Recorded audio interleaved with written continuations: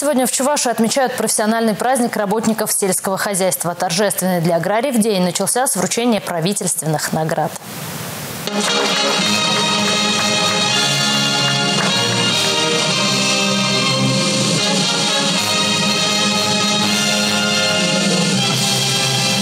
Сельскохозяйственный год завершен. Он был непростым. Несмотря на непогожее лето, аграрии Чуваши смогли собрать урожай, который специалисты оценивают как рекордный. Нелегкая работа крестьянина всегда ценилась и пользовалась в нашей стране особым уважением и вниманием.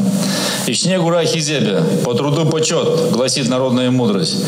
Сегодня мы вручаем государственные награды тем, кто занимается выращиванием качественной сельскохозяйственной продукции и производством продуктов питания, обеспечивает продовольственную безопасность нашей страны.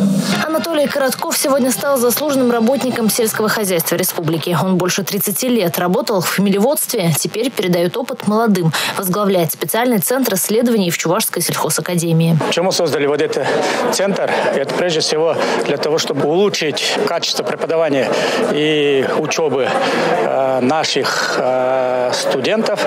За последние пять лет объемы производства сельхозпродукции выросли на треть. Ее экспортируют в 31 страну мира. Долгого отдыха у аграриев не будет. Скоро начнется подготовка к весенне-полевым работам.